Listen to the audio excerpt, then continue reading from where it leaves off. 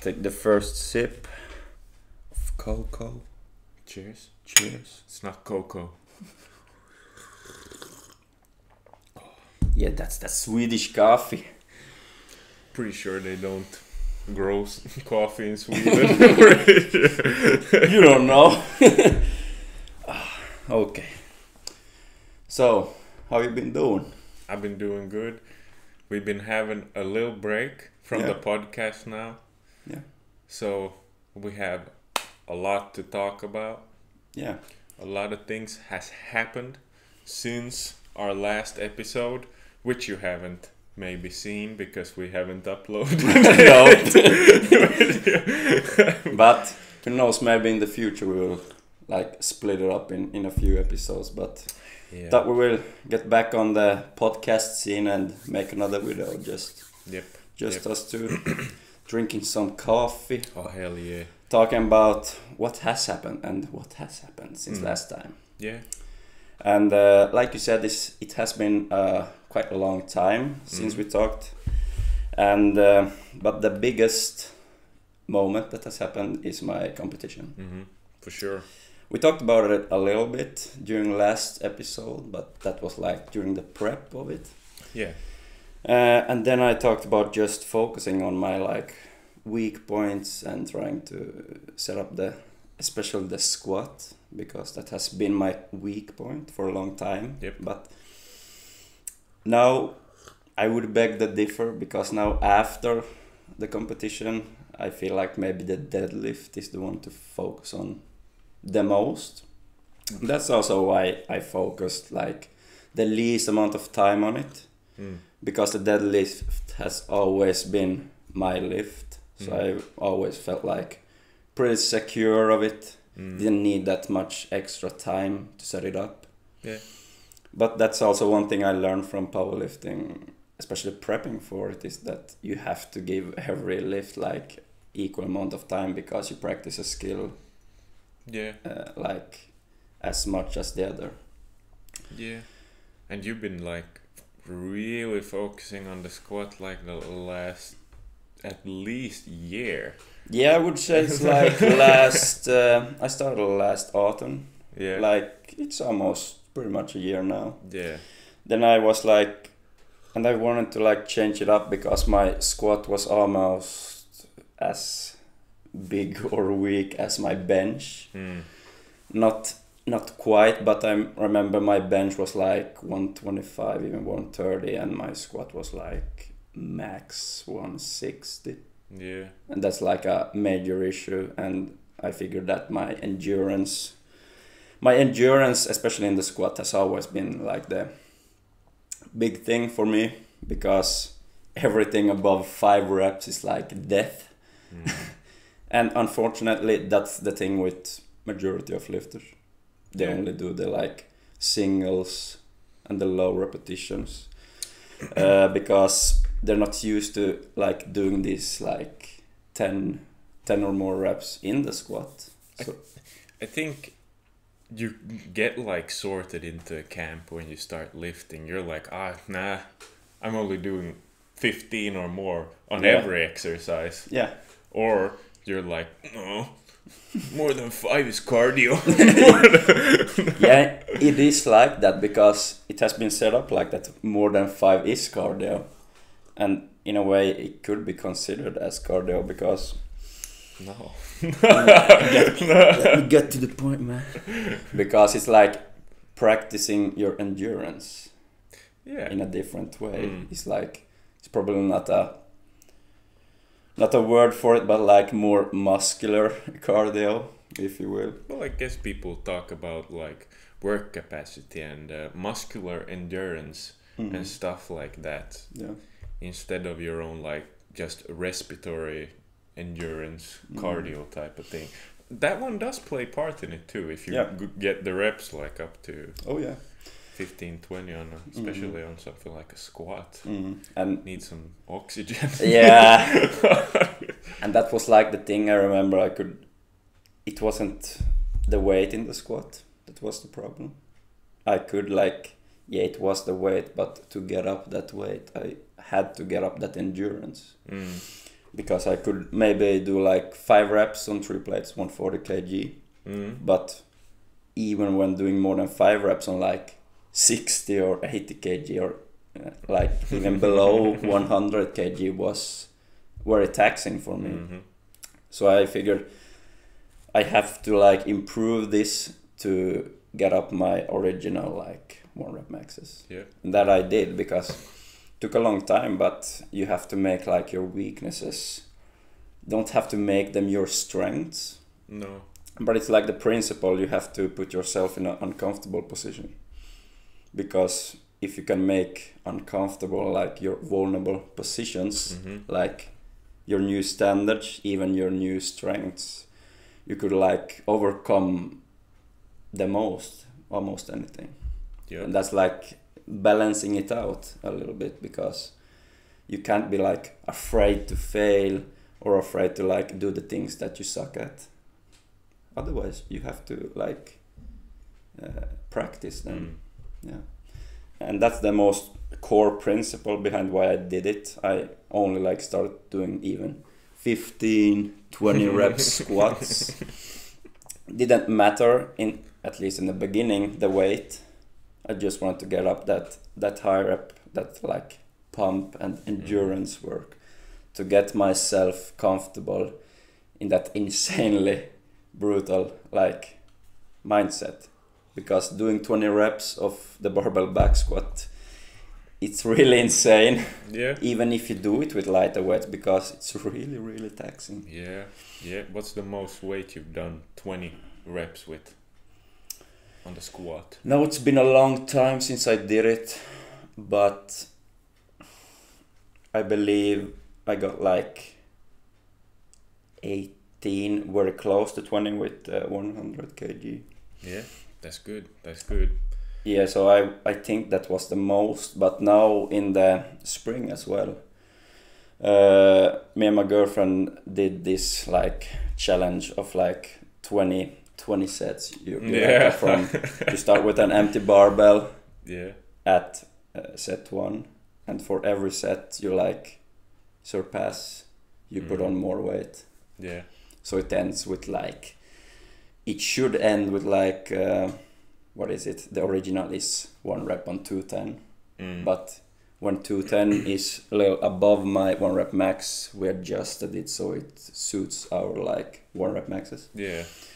So we did that, and I remember failing with like maybe doing four or five reps on 130, but that was like uh, set 14 or something like that. So I'm really pleased with that, and Mm. uh, I would be excited to like try that one again because last time we did that was maybe uh, almost six months ago or something Yeah. like that. It's quite a while. Quite a while.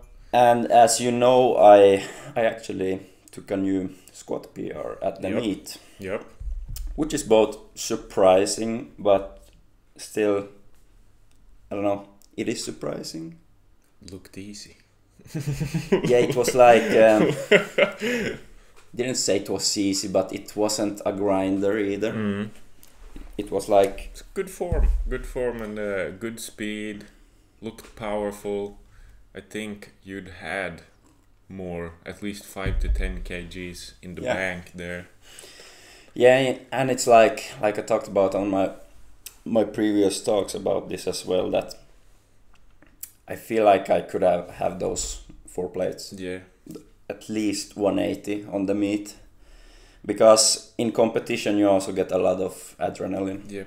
and you you get very easily affected by that like that sensation of lifting on stage lifting in front of a lot of people and so on and that helped me a lot but it also helps you like go for it Yeah. because like i said the, issue in training for a lot of people is the fear of failing Yeah. it's like they're afraid of like failing a squat because maybe dropping the bar in a big gym will uh, draw attention or something like that i don't know I don't.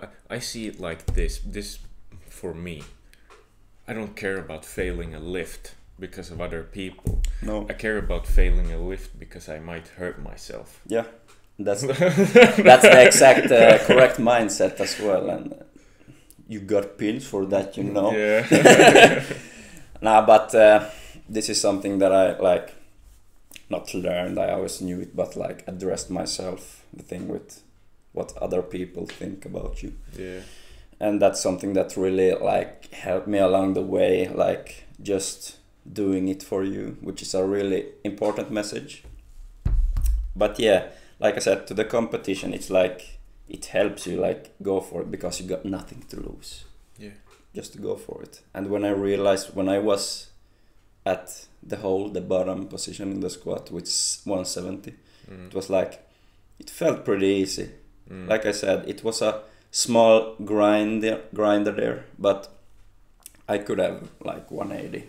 yeah. But the goal for me this time was just to like try to get the nine white lights, which I did, Yeah. uh, and like just focus on the form. That's controversial nine one. That's very controversial, man. Yeah, at first it was like I get got one faulty Yeah. faulty lift, and that was the last bench press, uh, which I had a tiny butt lift. Mm. Uh, the butt elevated a little off the bench, Mm. but uh, the day later I got a message from uh, one of my coach or the founders at my my Mhm. um, club, and he said congratulations for all uh, like nine good lifts, really good job, and I'm like. I didn't get nine white lights, but then I Well, to also be fair, the butt lift was it was during a very short. It was Yeah. like a split second, and it was very tiny. Mm. So I mean, So I, I'm like, I take it, uh, and it really depends on the federation as well because uh, some federations are a lot more strict mm, with things like that, and that was a more like open competition, I think. Mm. But like you said, it was a very minor moment of it, mm. so it maybe wasn't quite enough for it to fade. But uh, yeah, I went to the website and checked it out. Every lift was like uh, white lights, good lifts. yeah, So I'll take that. It's a very very good start. second place in his weight class. First competition, Hell yeah! not because there was only two people in the weight class. Yeah, but yeah, that that was really exciting. yeah. It was actually fun just spectating as well. Mhm. And I don't know why, but I was also really tired after the competition. yeah, because it's really there. whether you lift or not on meet this because you it's a lot of waiting Yeah. because you do your lifts, you do your three squats, then you have to wait like uh, one, even two hours until you can do the bench. Then you do the same thing until you can do the deadlift and so on. So it's a very long day, a long Mm. procedure. Yeah. Uh, but yeah, really, really happy to try it out. And like I said, I kind of fell in love with it. But I will like adjust a few things now. Try to look for competitions for next year. Mm. Not in the rush of it now, uh, this year at least. And maybe, maybe try to find some competitions with only one lift, like only bench competitions. I might fuck around. Hell yeah, I, I figured, I figured. yeah, so we see, but uh, generally I, I want to compete in SBDs, but uh, nothing wrong with like exploring. SBDs, BDSMs, all Yeah. of them, yeah. Hell yeah. Every day, baby. Yeah, so can't wait. And now I'm like doing a little different training. Mm. Uh, switched it up, and like I said, I want to pursue competing, Mm. but I don't want to train like off season as a powerlifter. Yep. Uh, because it's for me at least it's really boring like one-sided type of approach because and i'm not saying it's not efficient because it's very efficient if you really stick to the program but that goes for every program Mm. but especially powerlifting when it is that kind of specific style of training. Mm. Uh, it's like like I'm saying a lot, but it's like practicing a skill. You have to get better at a skill. It's not about how muscle you got. Yeah, you you need muscle to like have that strength, but like you have to like teach a lot of your mind how to like lift it, and it's really taxing on your CNS as well. It's a lot about the neural drive, neural connections, Mhm. how efficient you are in that movement Yeah. pattern. Like the more you're gonna lock it in, the better you're gonna be in it. Mm. And that's also why I'm like, I personally need and want that variation in training, because I'm I'm that type of guy because I love, I love doing new things, Mm. whether it's in the gym or like life generally. I like hate doing the the same thing over Mm. and over again. So I need that like variation and that's why like power building is great for me because I get like both sides. I- can get a lot of strength training as well as the hypertrophy and the endurance part. Uh, so right now I'm doing a little more power building, Yeah. but still very. It's still kind of hypertrophy and endurance dominant, but we Yeah. still get those compound SBDs in, like heavier sets on those, Mm, mm. just to get in something of the strength aspect. Yeah. Um and for me, I like to like practice and address my weaknesses because you always will have weaknesses, but your weaknesses will like develop. Mm. So the weaknesses I had maybe five years ago maybe could be one of my biggest strengths today. Yeah. And like right now, I feel like I have to focus on stability in a lot of areas, but most like stability in my arms and chest, you know, Mm. because I preserved a lot of muscle mass on my cut, Yeah. but I still lost like 12 kg, which is a lot of weight. Mm. Mm. I lost a lot of fat, but um, I But I would think- s- In a cut, you're not just going to lose muscle and fat. no. You lose other stuff. too. Yeah, yeah, yeah, of course. You lose like soft tissue. Yeah.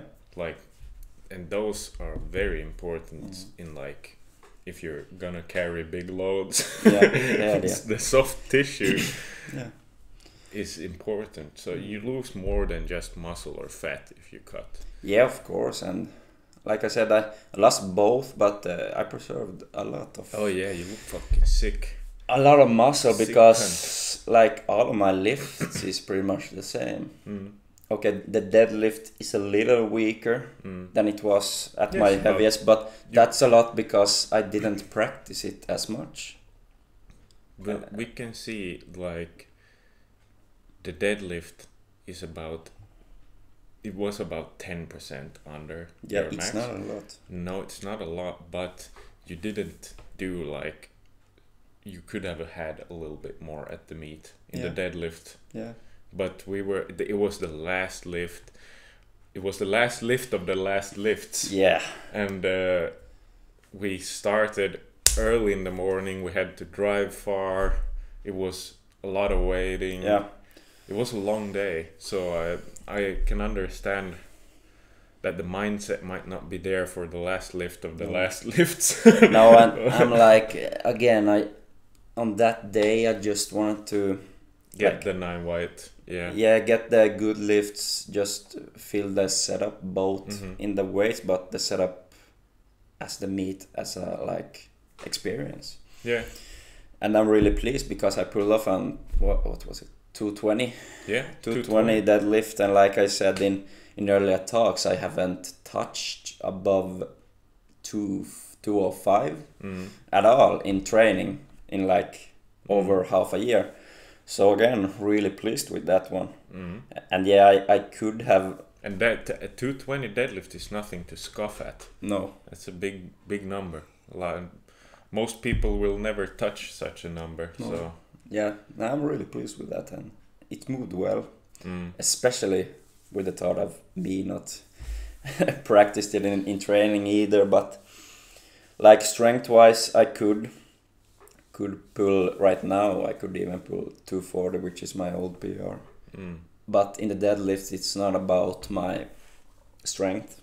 It's more about my uh, grip strength and things like that. Uh, Mm. the same with the stability, which I I'm gonna talk about little uh, right now, which Mm. I I need to address in training. It's the Mm. little things, like for my bench.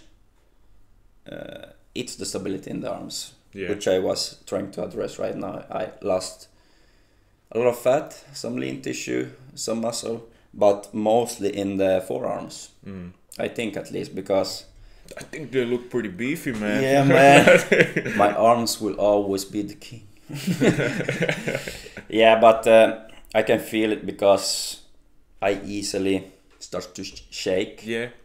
during the bench, even if it's just 100 kg, which isn't a, Mm. a difficult lift for me. And it's like when I do the reps, it's not difficult. yeah. But even when I'm just unracking, holding the bar, Mm. I'm like easily, and I think that comes a lot from a decrease in the like forearms uh, during the cut. Mm. Uh, I'm like What, what what frequency did you have in the bench like uh, prepping for mid. during the prep? Uh, let's see now. Uh, well, I almost benched every session. We, we trained. Uh, Okay. Well, then it shouldn't be why because I notice if I don't bench for like 2 weeks, then I start getting the shakes even at lower Mhm. weights. yeah, but, you the have strength is still there. you have to keep in mind we had a little we had quite big break after the meet like Yeah. we, we maybe Mm. didn't touch the the gym in maybe almost two weeks after Oh, okay. Okay. maybe a little over one week but it still was a long time because we just needed to settle down Yeah, I and just think- take it easy I think that's good. and i think it's a lot from it comes from that as well Yeah. Yeah. Uh, so I'm just, but overall, I I'm a quite not shaky person, but I shake easily. But it's it's more than before, Yeah. and I feel like otherwise I, I haven't like trained forearms or grip strength in Yeah. that matter. yeah, you got beefy forearms, man. the mammoths. yeah, I I think that could help a lot because that's something that a lot of folks ignores.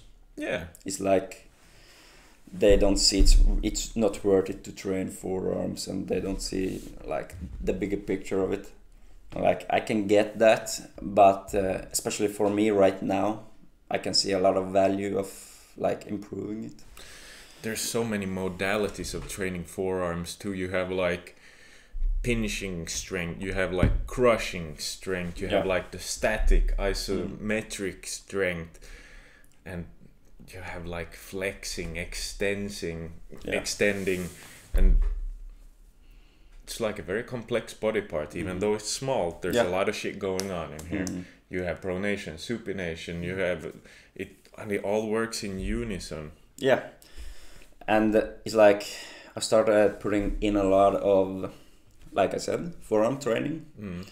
with different variations uh, and like supplements. I have them here. I could Oh show, show you. I got What you got? What you got, man? I got some fat grips. It's gonna take out the trend, guys. What? What? oh shit! So yeah, I purchased Yeah. some uh, fat grips and Yes. thought I could could show them on the podcast as well because Hell yeah. these are really good to use. We should next time we go training. I wanna use these. Yeah, and it's like we used them before we had a, a buddy, a close buddy of ours, uh, a Swede. Yeah. That we saw it like gymmed with uh, sometimes, but I remember he had uh, one of those Mm-hmm. fat grips, Yeah. and we tried it on the lat pull down. Mm-hmm. Uh, but we were training in a more bodybuilding manner at that oh time, yeah, we. so uh, I haven't really explored it in that way. Yeah. Uh, so I thought, what the hell? Especially now, when I like wa- want to address this forearm weakness, Could be a really good addition. I think you should fucking just embrace it and do it on everything. Yeah, and that's slap, kind. slap it on everything. Uh, not gonna lie, it's kind of what I've done because, especially with the bench, mm-hmm. I never use these on the compounds. I think I will use them quite a bit for the deadlift, but not only Yeah. with these. But right now I use them on the bench, and Yeah. I was like, I'm only using these on the bench for now Yeah. because that's another thing. These are especially good for me in the bench because I also, due to like maybe weak wrists as well, Mm-hmm.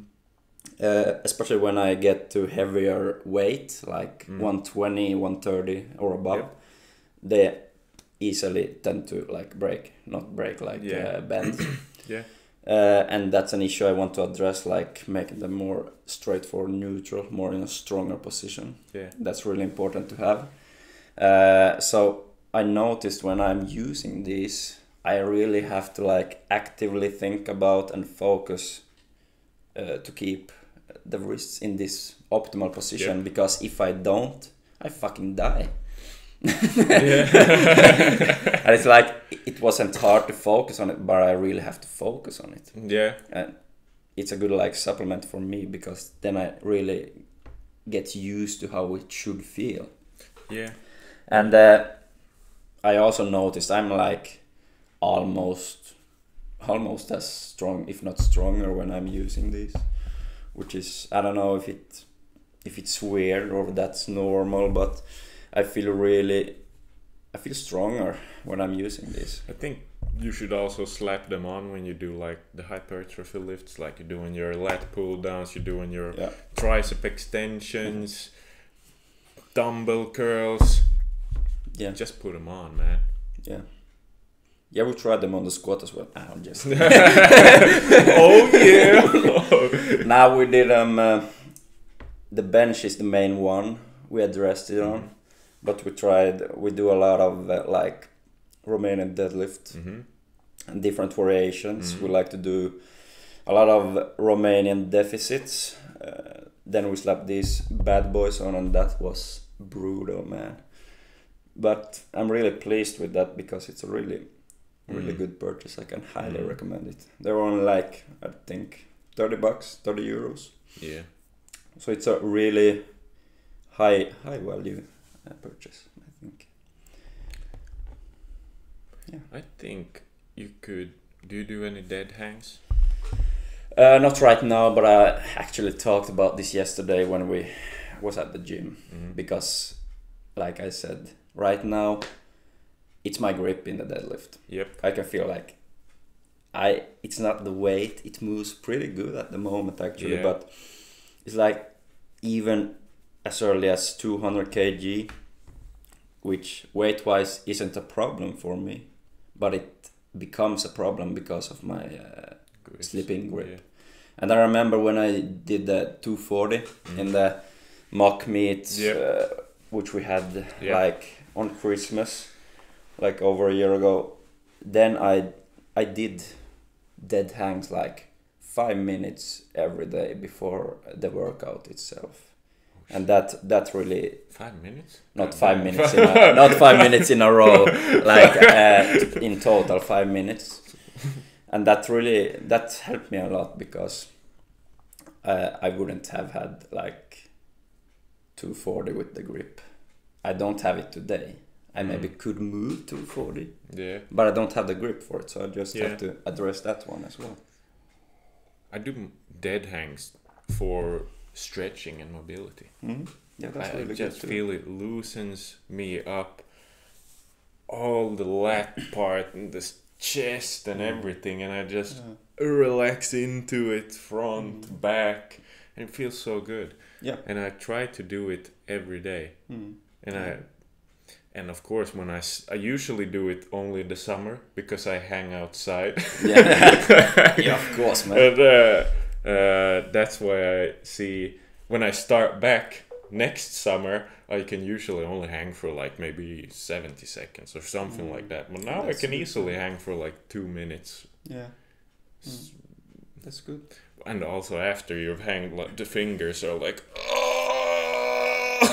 Yeah, but Well, it I do be like fine. I don't think it hurts the tendons or ligaments any, but no, but it it's painful a little bit. yeah, it is. I Mindset. remember when I did it as well. I I could do like maybe a little over a minute, which was good for me because at the moment Oh yeah, you were heavy. I weighed like one one eleven. So for me it was I thought it was really good because like the first time I did it before I achieved that like over a minute I could do like twenty second stops or something hmm like that. So it was a really good exercise. And it could be ex- really good exercise for me now as well because I've been putting a lot of mobility focus on my thoracic spine, my shoulders, hmm because that's something that has been an issue for a long time. Yeah. But I've been just like ignoring it. Uh, I've been no, ignoring is the wrong word. Just not putting enough emphasis on it. I've been addressing the mobility, Mhm. especially in the shoulders, during the years. But it's it's been like yeah, I've been practicing mobility like one or two weeks and then dropping off. yeah. And that's the issue with mobility because it's like not as like valuable or enjoyable as No, normal resistance training. It's You sort of like doing the healthy cardio, zone two cardio. It's really fucking boring, but it has like incredible benefits. Yeah, and right now it's like I made it a routine, so I really feel like I I'm sticking to it right now. Like when I work at the hospital, uh, like if I Mhm. write some like journal texts Yep. or some more administration work, I often take small breaks where I like do some uh, what is it called sots press. Okay. Like I sit in a deep uh, squat position Hmm. and just not even holding anything, but just like not not even going up to here Mhm. because I am not quite there yet, but just like addressing this type of movement Mhm. in that position. And I also do like wall wall angels and wall presses. Mm. Like I stand against the wall, like with Yeah. the head, the butt, and the like heels against the wall, and just like pressing up like this, like 15 20 reps. And like in the beginning, it was really brutal. It still is because due to my like internally rounded shoulders, when I'm getting to this position, it's really like I can really feel it Mm. especially in the like scapular area and like the deeper upper back muscles Yeah. that they're really working but i feel like it's it's in a good place right now Yeah. it's it's gotten better because already after doing it a couple of days now it's like the mobility itself isn't there yet but it will take time but my posture has gotten a, Hmm. a much a, a lot better actually. Oh yeah. I actually I notice how much better my posture feels. I don't know if I notice how it looks, but it feels when I do the hangs every day. yeah that, that's good too. And when I stop doing the hangs, I can feel how tired my muscles get from being pulled forward like Yeah. this. Yeah. They're like they were like, what are you doing? Some if I don't hang for a couple of days, I'm like, why am I sore back here? Hmm. And but it's because I don't you know, I gotta keep it loose. Yeah. but I think uh, like stuff like dead hangs could be good for me for that Mm. reason as well. For my like mobility in the shoulders and thoracic spine, for that matter, just like hanging and putting myself in this position with like it's like a weight Mm. because I'm hanging with my body weight. Mm. So I think a combination of like dead hangs and the mobility drills, which I mentioned, could be a good thing yeah. and uh, I think it's it's not only for I'm doing it for the deadlift because that's I'm holding a lot of limited weight potential Mhm. in my deadlift even if deadlift is one of my strongest lifts but I noticed which I've been noticing for quite some while but when I get to that heavy weight it's not that it's bent like this Mhm. but I feel like it's packing up a lot of like it's limiting a lot Mhm. when I have this internal rotated and when I'm lifting heavy weights it easily gets to that. Yeah. My my core and my lower back is still very packed and braced, which is good. Mm. And I think it's okay to have that little Oh, yeah, flexion thoracic in the- rounding. In the upper back. That's totally fine. But for me, I feel like if I could like improve that type of the like posture and uh, mobility, I could like unleash a lot of uh, extra weights in my uh, deadlift. But it's also power. It, it would make it feel better, which would allow for more weight, probably. it's more like stacked position as Yeah. well if I can like unlock that uh, mobility issues.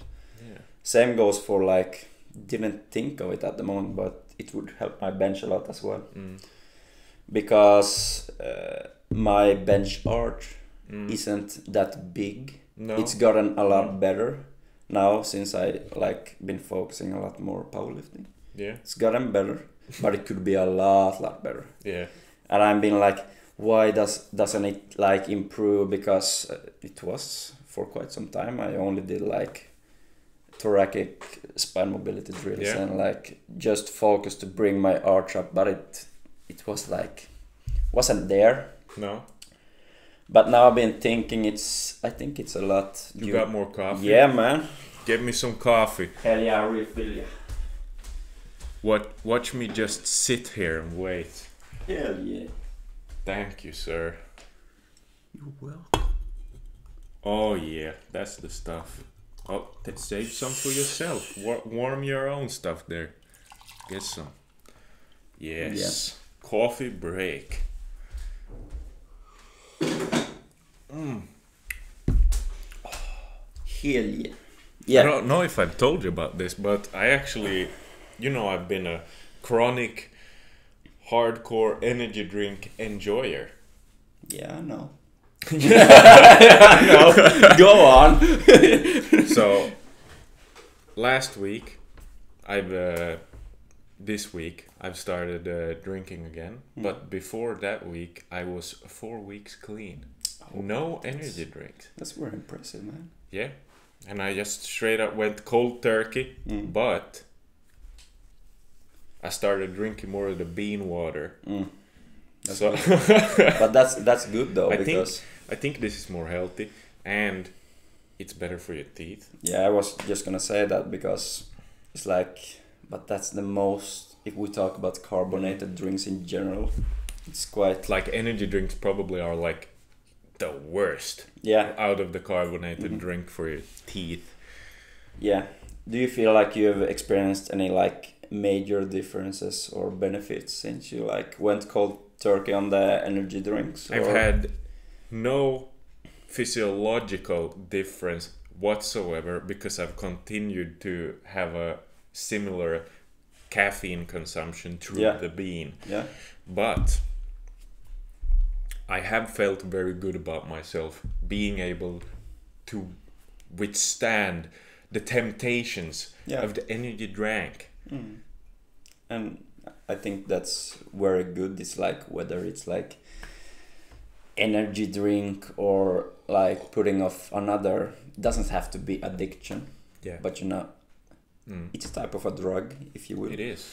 Uh, even if it's energy drinks, beers, Sugar. tobacco, sugar, something like that, because that's something I noticed a lot as well during the, the almost year years that I've been putting off a lot of uh, alcohol.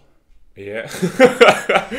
Like uh, back in the day, I was pulling like packs after packs like a madman, and uh, Fucking But- legend. fucking legend. man. That's negative reinforcement. no, man, I'll take it.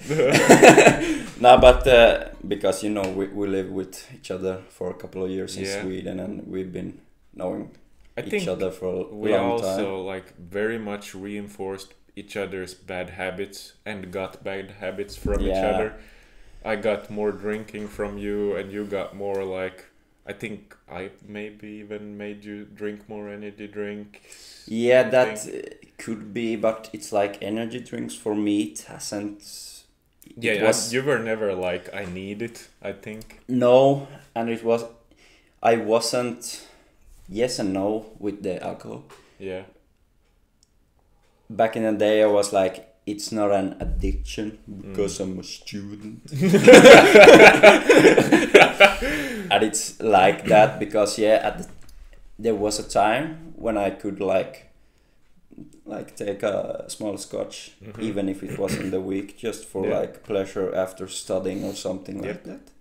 So I really never saw it as a problem, and I don't. but yeah, it was a lot, but it will include when you're like studying Mhm. very easily. You having parties and stuff like that. and it it's like part of the culture and lifestyle when you're studying Mm.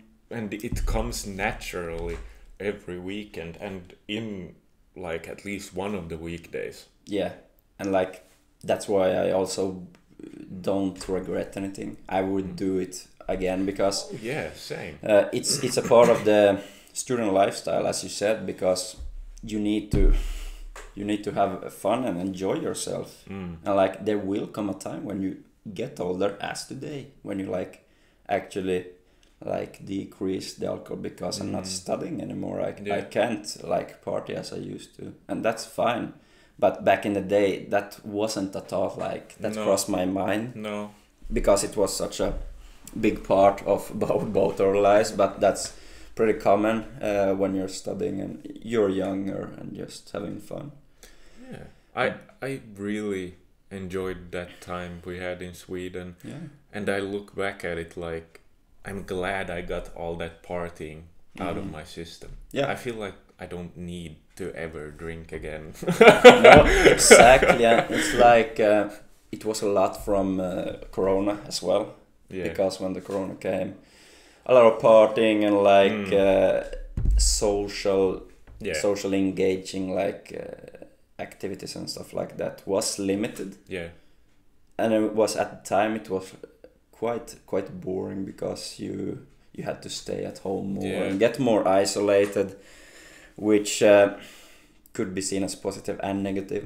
yeah Uh, but it helped me and I think a lot of other young people as well to like really focus on other stuff. yeah And it was due to that um, uh, COVID time I like got off the partying and like Yeah. got used to other things. yeah And that's I I really think that's a big factor as well Mm. for me why I'm like uh, peaking right now because yeah where I am today is like the healthiest, strongest version of myself I've ever been. I think it definitely held back some of our gains drinking, like Mhm. at least once or twice most weeks. Yeah, and it's like I never understood it then because uh, how could like alcohol or something like that limit the gains? Because we didn't like see it in Mm. that vision at the time. No. But I can I can see it now how it really helps. Yeah. I'm not saying like drop off all alcohol or No. everything. Like you said, you dropped off energy energy drinks, but just Yeah. in, drinking coffee. Yeah, that's fine. It's a coffee, healthier yeah. option. Mm. I'm still drinking today, but it's instead of like one or two times every weekend, it's Yeah. like one time each month or even Yeah. longer than that. Just and just appreciate appreciating it yeah. more of that ah, we have to go out and drink and it, now it's more like uh, appreciating the moment as i said and like Mm. just enjoying your time with friends having a cold one or something Yep. like that Yep. don't, you Don't- can still get drunk and be times like that but Yeah. don't have to do it like all the time Don't have to get super smashed, hammered, uh, puking, stupid, drunk. yeah And we did most times. but i think uh, that's that's pretty common Yeah. uh, like student life as well Mm. But yeah, it's it's a big big change. I think I won one time during the studying years. I had to take a break as well. I think I took like a three week break Yeah. from dr- doing any drinking because I think it was a Monday or a Tuesday. Yeah. And I sat in class and I had the thought, it came to me, Yeah. oh man, I wish I was drunk right now. and that, that immediately afterwards, I was like, wait a minute, Mm. that isn't really right. that isn't a thought I should have. Embrace the moment. That might, yeah, that that might point towards it being a problem. what? yeah, I'm not like saying moments like that cross my mind, but you know, it was like suppressing other things Yeah. because that's what basically drinking is. Mm. Uh, but then again, I would do it again in a heartbeat because it was a one of the best moments of my life Mhm. uh, comes from Yep. those times. Yep. But it's like you said, it's it's good to have it like out of the way. Mm. I'm glad it happened, but Yeah. now I can like focus on Yeah. other things, uh, like training, more as a private life, Life, and uh, work. work, things like that. Yeah. And I feel I can actually focus on that. I wouldn't if I've been like more active in the drinking aspect. but I, like I said, I still enjoy a good cold beer or a scotch. so Behind I. you, I got my whiskey cabinet. Oh yeah. I, I got like uh, five five whiskeys, but it's Mm. like just could take them out like Mm. once in a month and enjoying the soccer Mm. game. I, I watch a lot of like soccer, American football, a lot of sports. So things like that I often like pop a cold one or Mm. just a scotch Yeah, with, I- with the friends and stuff. I drink beer every now Yeah. and then too. Like Yeah, uh, I, I like to find new wheat beers and Mm. drink those. But that's like maybe once a month or something like that Yeah, that I enjoy beer. And of course, I think I don't think it's once a month I go out like having more than one beer. I think it's maybe every other or every third month Yeah, that I I actually get more like quote unquote drunk or intoxicated. yeah. So I, I think it's healthy Mm. to Yeah. have that good balance. Oh yeah. And I also feel like, but I, I think this comes for a lot of like whether you're a man or a woman that when you uh, get in a relationship, you Mhm. also decrease the time when Yeah. you go out Yeah. because a lot of people like consume things like alcohol and things like that to go out and then maybe try to uh, find a girl Yeah. or a man whether the gender That and that's a a big thing of large it part of it. Yeah. Yeah.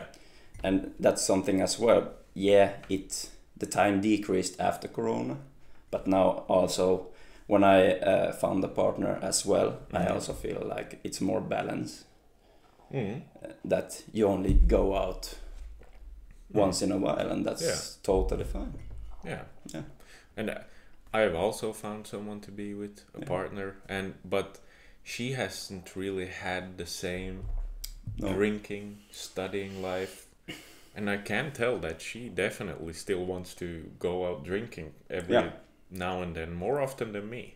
Yeah. So I, I definitely think that those times that we went hard at the university really got it flushed out of the system. yeah i do believe so The golden days. the golden days yeah th- those were those were good times Those were good times. Speaking of university, have you have you thought about like uh, specializing in some areas now after you like got your I degree? I have, and I even looked up doing the masters for occupational therapy, Oh, but I'm not allowed no. because you have to have had your license and worked for two straight years. Yeah.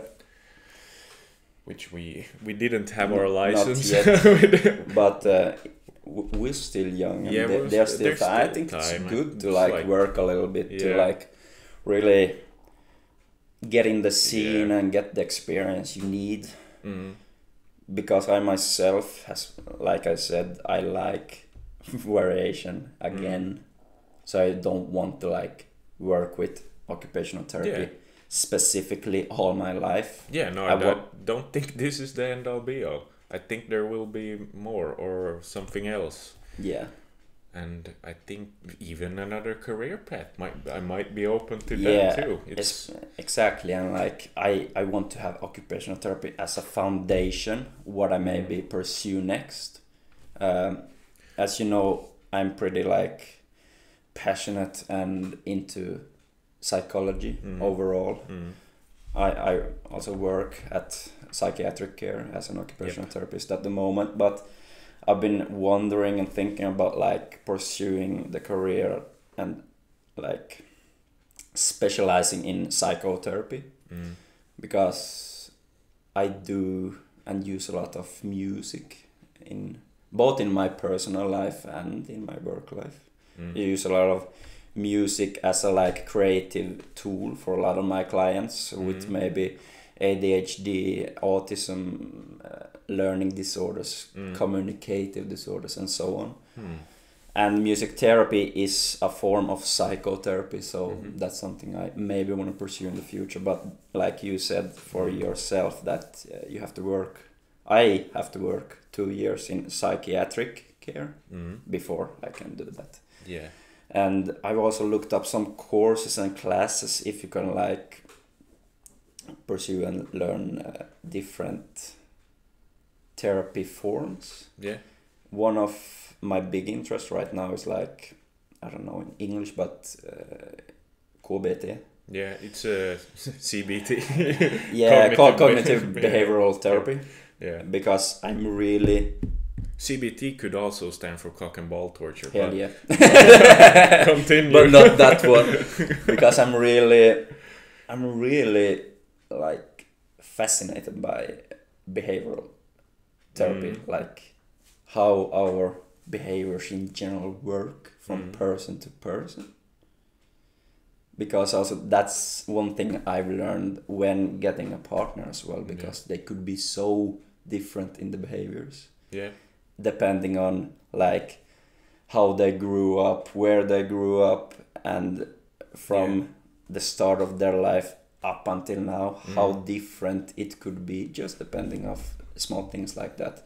And I'm like I always been into like psychological things Mm. and behavioral things like that for a long time Mm. as you know, I also worked at like the uh, psychiatric care for like prisoners Yeah. in Sweden Yep. uh, at the side of my own studies, and I really got like invested in it at Yeah. that time. Like it's really interesting Yeah. how like both how wrong it could get for those people especially, but like how the brain works in general. Mm. Like Mm. I really want to like get in depth with how we work. And that's also why I'm getting a little triggered sometimes when people that don't like believe in therapy. Yeah. One, that they don't believe in therapy, Mhm. but two, like that they say that it doesn't like do anything or do they, anything they and- disregard it completely. and uh, it doesn't like help to talk about what's on your mind your feelings and like yeah i understand that not your area Mm. that you like don't have that insight but for me when i understand that it's like yeah you're you're so off because Mm. it's like everything we do everything we think everything we act or react anything is like up here and it's Mm. so impactful Yeah, I think occupational therapy is it's not that deep as you're talking about. No. Of course, the, the the the deepest layers of Yeah. psychology that you want to peel Yeah. and look at, those affect what we see as Yeah. occupational therapists. We can really see the box from all directions and Mhm. inside of it, yeah and that occupational therapy like opens so many doors yeah for us in regards doing therapy Yeah. with people. Mhm. We can take so many different angles that people never even realized were there. Oh. That's what's so good with this education that we have. Yeah. And that's why it's such a good foundation for anything else we Mhm. do in terms of like doing work with people. Yeah. I think it's really good for that. Yeah, and the thing with, as you mentioned there as well, with occupational therapy, it's very broad, Yeah. broad education and line of work. If we take, for example, a psychologist, it Yeah. will majorly look at the like uh, psychological like identity of a Yeah. of a client. Uh, we take the physical therapist, it will only mostly look at the like physical flaws or physical like aspect of your health. But we as occupational therapists we look at the physical, Mm. uh, psychological, emotional, socially like Uh, and em- environmental. yeah because we look uh, we look We try to get a bigger picture. yeah and we like we look a lot at how you're living your daily Mm. life which is most of what we do Yeah. and because that's what we do it's like gets very Mm. like broad and Yes. i'm i'm glad because but unfortunately occupational therapy is like very ignored not ignored but forgotten Yeah. profession Yeah. because i don't know how about you but i get a lot of like that in my daily life that I, no one knows what occupational therapy is I think because I have a great set of colleagues Mm. which have done amazing work Yeah. in the field that if I work with teachers that they have seen the teachers really respect yeah and emphasize the therapy and they like they're like oh thank god this person is getting occupational Mm. therapy yeah or like they're like student or whatever yeah and it's like it could be anything Yeah. that you do mm. that's why I love it because yeah, a lot of occupational therapy is doing the like practicing the practical Mhm. stuff and practical routines for you to get us independent yeah as possible. yeah It is a lot of that, but as I said, when I work in a, such a psychological way at most times as well, it doesn't have to be that because most, especially in psychiatric care, most people aren't like comfortable or okay with even doing the practical stuff in the beginning at least. So then you just have to like have consolation, just have like talk with the client Mm. and like more therapeutical sessions to get there. Yeah. And that's why I love it as well because I can like not do whatever I want, but I can like in a flexible way use my tools as I see fit. So that's a really good thing. Yeah. All right, but I think we've talked about we've talked about the powerlifting meet. We've Yeah. talked about addictions. We Yeah. talked about training. Mm-hmm. Talked about a lot of things today. More Yeah. general stuff. But let's get to the last segment of the Yeah. compass, which is an underrated or overrated exercise. Yeah, I believe it's uh, underrated this yeah, I think it's underrated. Yeah. It's fine if it's not, but we're doing No, we're, we're, we're doing underrated today. Yeah.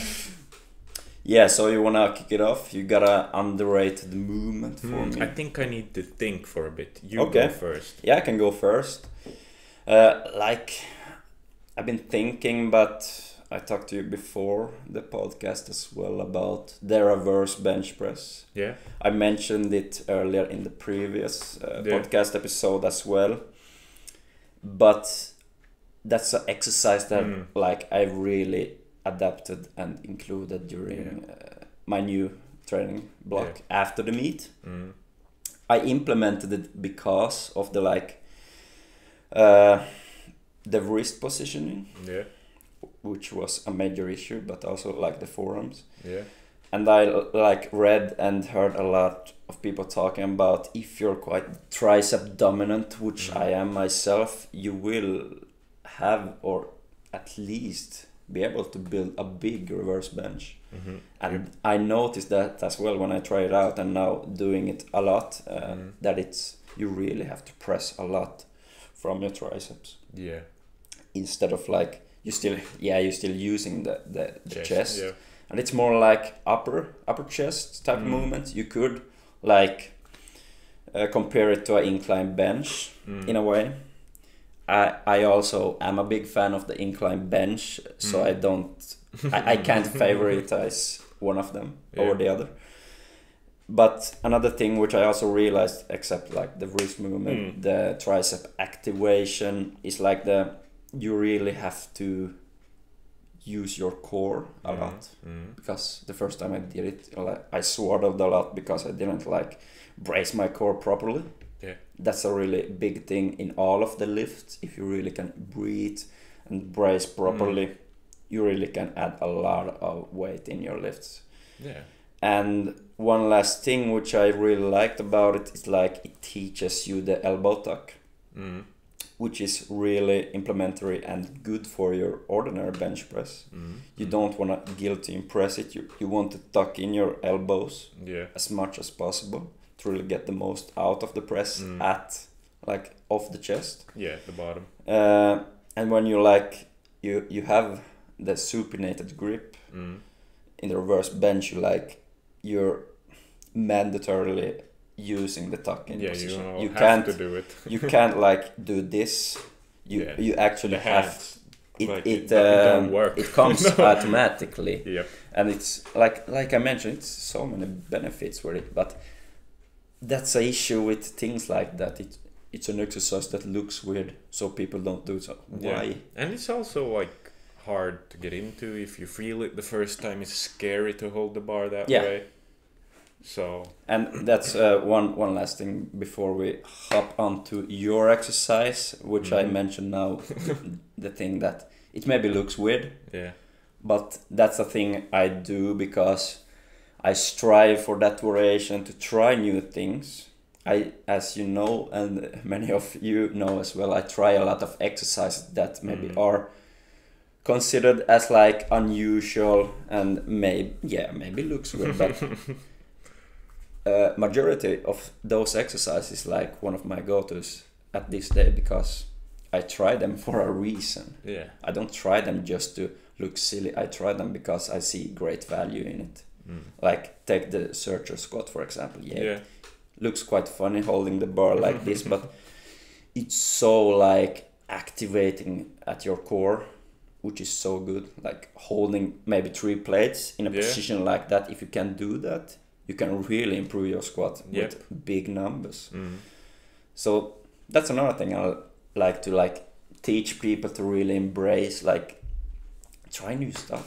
Yeah. Just don't think about what other people Mm. think. Just just go for it if Mm. you see great value for your capacity. Mm. Yeah. But how about you? You got a underrated exercise for today's segment? I don't know if it's underrated, but Yeah. I would say that a lot of people clown this exercise in favor of the pull up. I'm going to say the lat pull down. It's a very popular exercise, Mhm. but I do feel like people say pull up is better. Yeah, I can see Uh, that. But I feel like this is all about capacity, Yeah. like you said. Mm. If you can't really, I, I've always been able to do pull ups. Yeah. So, but until I started doing a lot of lat pull downs, Yeah. really nailing in lat pull down form with lower weight, building it up, Mm. only then have I been able to start feeling my back in the actual pull up. Mm. Oh, I haven't thought about it that like that. So I've used it as a tool to actually like use my back. I can like Mm. really feel the contraction and the fiber fibers crunching Yeah. on the pull up. Yeah. So it it's transformed my pull up. Mm. Yeah, I really like the lat pull down. Did a lot of like different angles and variation of Yeah. it. I really like the I don't know what kind of grips you use in it, Mm. but uh, I know I like the one when you have a quite neutral grip. Yeah, Pretty I think wide. about about like there is is like my favorite. Yeah, and like when you have uh, like the ring here, so you have to like instead of this grip, you have this grip Ah.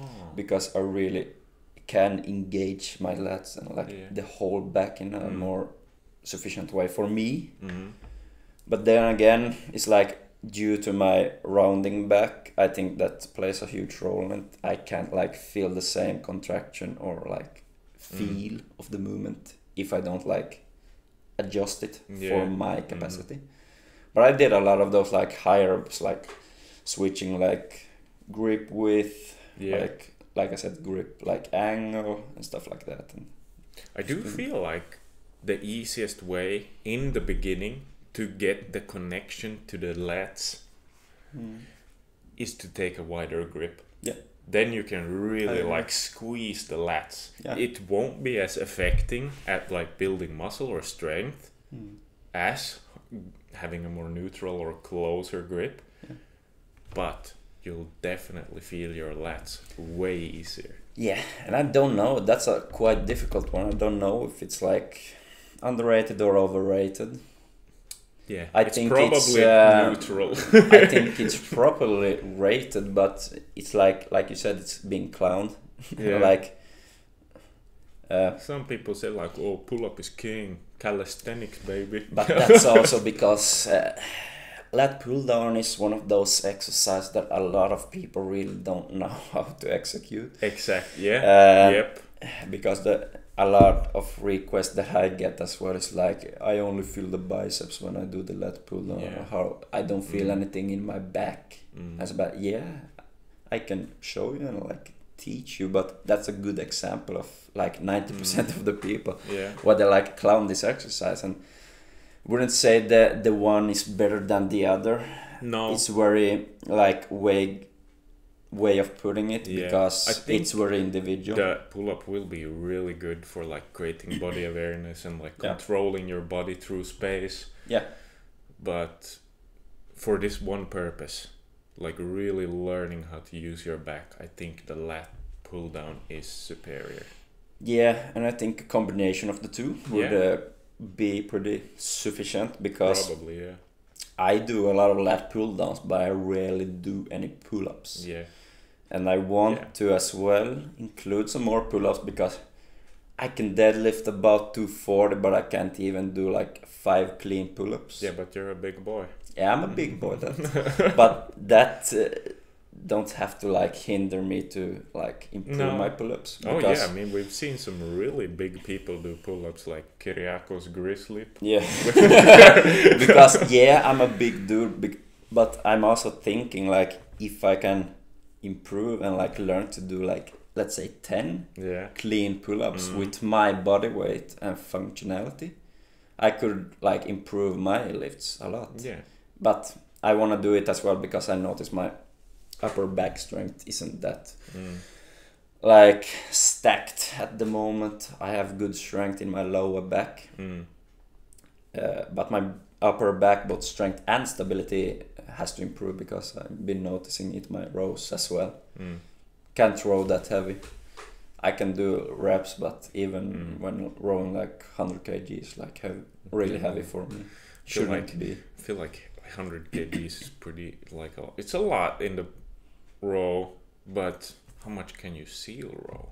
Because I feel like that Yeah. is what would be more considered like back strength compared to chest strength in the bench press because then Yeah. you're like loaded against the surface Mm. just the other way from the bench press. Yeah, and I'm like, I've actually incorporated not the seal row because Mm. it's a very rare gym equipment. Yeah.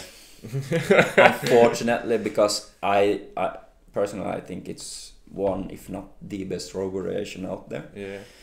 But uh, I've been starting doing a lot of, or shall start to be doing a lot of Pendlay rows, hmm like having your back very vertical to Yeah. the floor. Perpendicular. Yes, thank you. Thank you. Instead of like a very upright type of row, uh, which I've been doing a lot in the past. Mm. But due to my posture mobility and weakness in the upper back, I, I could uh, benefit a lot from the Pendlay row because I don't have the seal row equipment. Yeah. But yeah, very, very interesting thoughts about that. Yeah. Yeah. I think we're gonna wrap this episode up. That was. This is technically the fourth episode of the Yeah, podcast, the compass.